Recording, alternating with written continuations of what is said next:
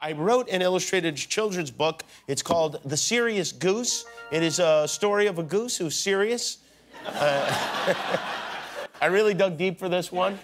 All the money I make from the sale of the book goes to Children's Hospital here in LA and Children's Hospital around the country. You can buy it anywhere they sell books or go to the seriousgoose.com for a copy signed by these beautiful hands, all right? All right. Our first guest tonight is an Oscar winning actor who is excellent in everything he does. His new movie is in collaboration with Clint Eastwood. It's called Richard Jewell. It opens in theaters a week from tomorrow. Please welcome Sam Rockwell.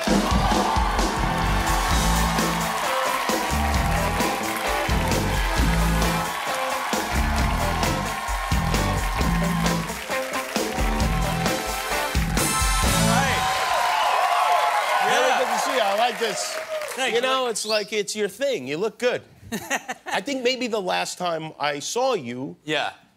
I think you were on stage at the Oscars winning and accepting was, an Oscar. And I didn't get the jet ski. Oh, that's right.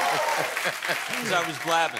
That's right. We did give a jet ski to the shortest speech. I think you did the right thing, though. You gave a funny speech, as I recall. Yeah, uh, thanks, thanks. I did, yeah, I did uh, a little shout out to my dad and, Right. and my mom and stuff, yeah. Did you talk about like your dad like ditching school and going to the movies yeah, or something like that? yeah, that? yeah. We played hooky and saw Rocky. I think it was Scarface. And that's how it all started. Yeah, yeah, Wow, yeah. how about that? That's Yeah. pretty cool. At- wait, so that night, after you win the Oscar, did you carry Yes. it around all night? I did carry it around because they wanted you to take pictures with it. and Yes, stuff you like have that. to. Yes, you, should carry it you around. should, right? Yeah. It makes people happy to see it. That's right. That's Yeah. right.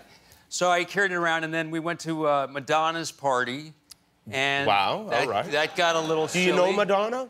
I, I don't know her. I met her once, you know, and and then we ended up dancing like two or three songs. Yeah. Wow. cool, Were yeah. they Madonna songs you were In dancing the Oscar, to? you danced with Madonna. Uh, we were dancing to I don't know what it was, some Motown or something. I don't know. Yeah. Hey, We're about the same age. I think you're a little bit younger than I am. But Yeah. what would you? I mean, because I, Yeah. I mean, I was. I think I was actually in love with Madonna when I was in high school.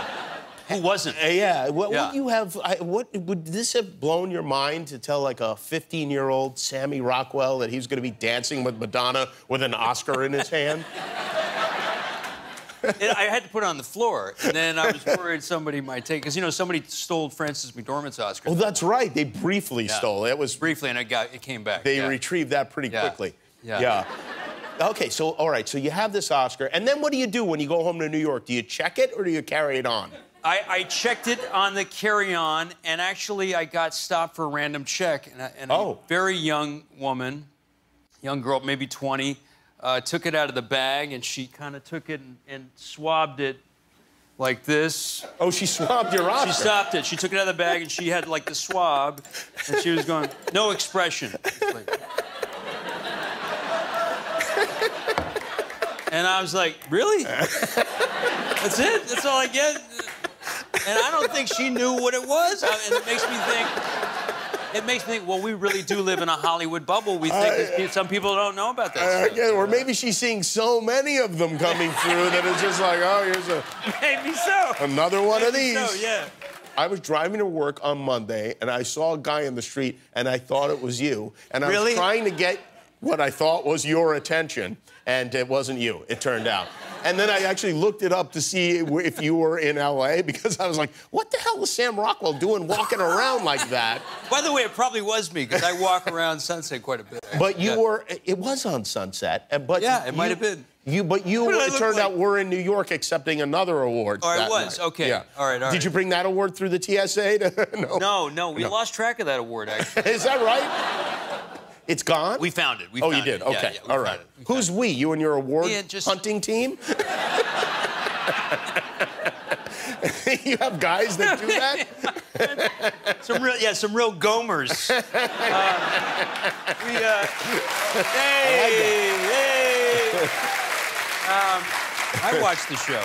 Uh, yeah, no, it, just me and my friends. We, everything got a little silly, and uh, we, we, we lost track of it for a second. Oh, okay. You have it now? We have it now, Okay, good. yeah. I, by the way, I enjoyed the movie. Richard Jewell is Thanks, really thanks. good. Thanks a lot. It's uh, for those. You know, it's funny. Some of the younger people here at the show didn't really know about this guy, but it was such You know, a huge story. It's it, and I'm embarrassed to say I don't remember much about it either. I remember Muhammad Ali carrying the torch, and that's Yes. about it. Jon Hamm remembers quite a bit, and uh, Yeah, it's an incredible story. It's an I remember story. it because I was there in his I was told this, yes. I was working at a radio station here in LA, and we, I was a sports guy. We went out to cover the Olympics, and this happened the night before we flew out.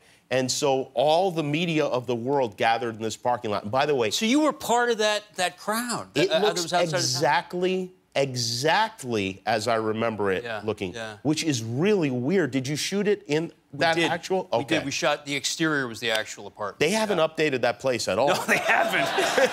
they haven't. And, and I, I'm glad to say we didn't shoot interiors in the interiors. Every media outlet in the world was there, and at that time, I'd never really seen anything like that. And people were just in the. I mean, there were thousands of members of the media Yeah. in the parking lot because everyone was there for the Olympics.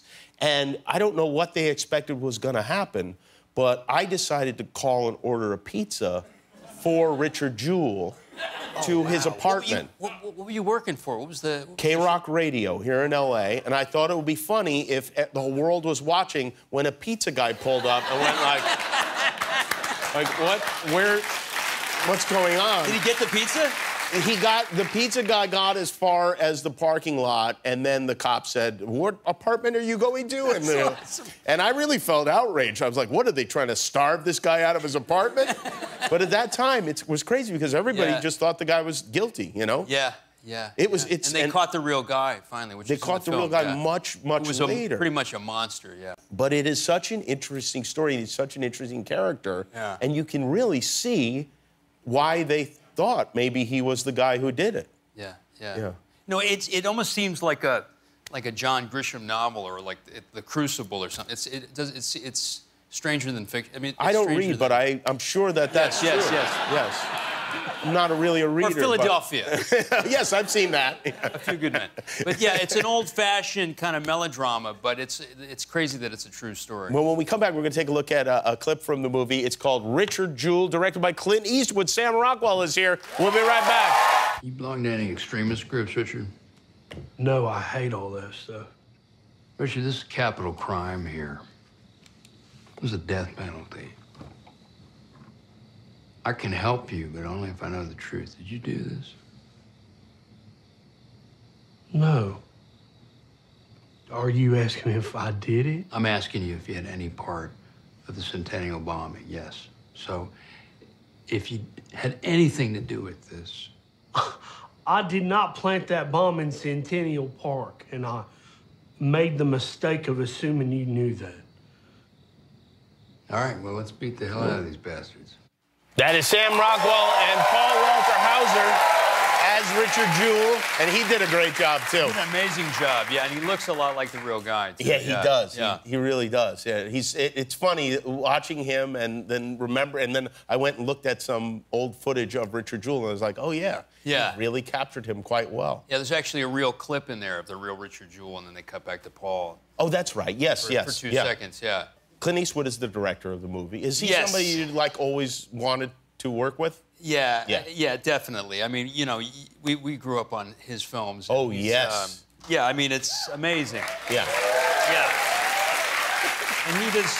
I was in Jackson, Wyoming, and somebody said, "Yeah, and this is where uh, Every Which Way But Loose was filmed." I was like, "What? Oh my I God!" know, I know. The orangutan was here? Ruth Gordon. I mean, you know, Yeah. I, I got to watch the Gauntlet with him on this plane, me and Paul, and he. oh, really? Yeah, and he poked holes in it and stuff. Wow. But yeah, I mean, he does not disappoint. He's got stories like you, he's crash landed a plane, like like the way it, like the Sully movie.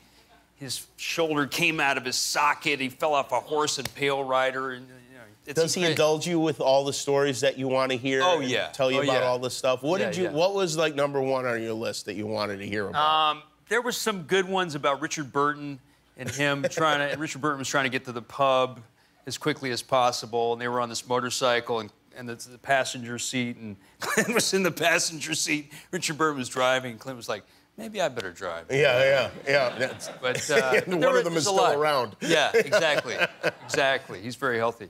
But there was a lot of good stuff. There was a time. There was. There's a scene in the movie where we have all these guns on the bed, and there was one that appeared to be a, a 44 Magnum, a, a 357 Magnum or something, and and. Uh, So Paul and I are there alone with Clint in this bedroom, and he goes, he just grabs the gun and he goes, 44 Magnum, most powerful handgun in the world.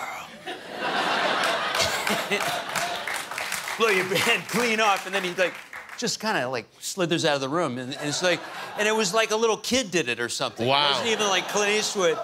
And, and it was Paul and I looked at each other. We're like, did that just happen? That's like worth the whole experience.